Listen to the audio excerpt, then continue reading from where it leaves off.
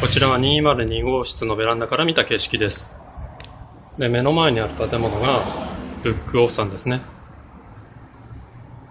で、林家がありまして、下の方に物件目の前の大通りがあります。まあ、この大通りから、直接、まあ、ほぼですね、ほぼ直接三津京駅までバスに乗れば行けます。